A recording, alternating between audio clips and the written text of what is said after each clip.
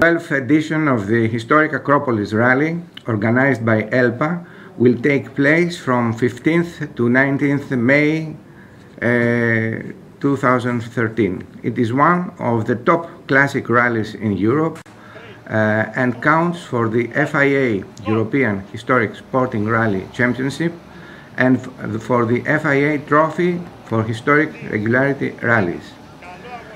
Cars of periods B, C, D, E, F, G and H with no class divisions can participate. Those of period I can participate without scoring points. Many remained places of both historic and cultural interest are part of the itinerary during the rally. The foothill of Parthenon Temple at the Acropolis in Athens will feast lined more than 100 historic cars, mostly of the 50s, 60s and 70s. We hope that they will not be just more than 100 but maybe 150 and uh, hoping to revive the challenging as well as most competitive atmosphere of those years. Delphi with its archaeological museum is one of more places of unique historic interest that participants will have the opportunity to visit. Uh, the plain of Plates uh, is one other place uh, through which competitors will pass. Very interesting and very important, though not renamed as much as other historic places of Greece.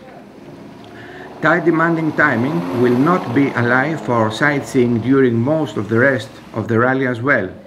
Even so, what will mark participants' Acropolis rally experience will be the incessant alternation before their eyes of sea and mountains, of bare landscapes and dark forests, of dazzling light and thick fog during evening drive. To all the above, demanding driving and continuous attention on the road will be inseparable partners since countless curves as well as sharp alterations of altitude qualify the event. For crews willing to start from other than Athens starting points, there will be something new has happened once only again, again in 1957 and uh, there are two more places one at Verona of Italy and the second one at Bucharest, Romania. So uh, the finish of this unforgettable rally scheduled on May 18th will be followed by the traditional prize giving ceremony that will be held at the Philopappos Hill opposite to Acropolis on Sunday 19th May. And participants could also, after this, visit the Acropolis Museum. To all who feel doubtful of participating, please permit this thought. Don't let for next year this experience. It will never again be the same.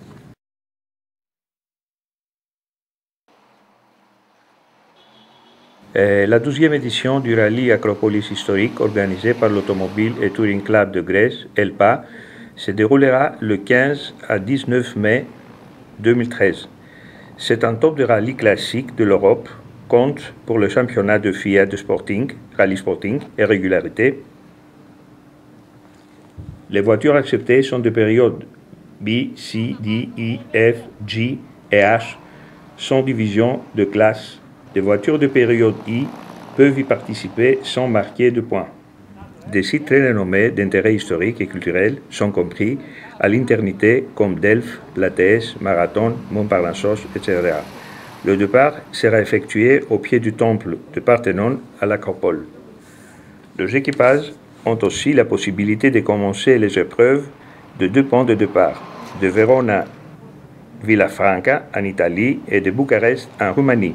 L'arrivée est programmée le 18 mai et il sera suivi par la remise de prix qui sera lieu à Philopapos avec vue à l'Acropolis le dimanche 19 mai. Les participants pourront aussi visiter le musée de l'Acropolis. La edizione dell'Acropolis Rally Storico, che viene organizzato da ELPA, si svolgerà dal 15 fino al 19 maggio 2013. Si tratta di uno dei rally classici più rinomati d'Europa, valido per il FIA FIA European Historic Sporting Rally Championship e per il FIA Trophy for Historic Regularity Rallies. auto storiche appartenenti alle categorie B, C, D, I, F, G ed H, senza divisione di classi per quanto riguarda le auto che parteciperanno alla regolaristica e con divisione di classi invece per quelle che preferiranno lo sporting, saranno ammesse. Quelle appartenenti al periodo I saranno ammesse senza però poter prendere punti in classifica per il trofeo, per il trofeo FIA. Eh, molte località rinomate di interesse storico quanto culturale fanno parte dell'itinerario della gara. La roccia di Acropolis con il Partenone farà da ospite durante la partenza delle oltre 100 auto storiche, forse fino a 150 potrebbero essere, non ancora precisato.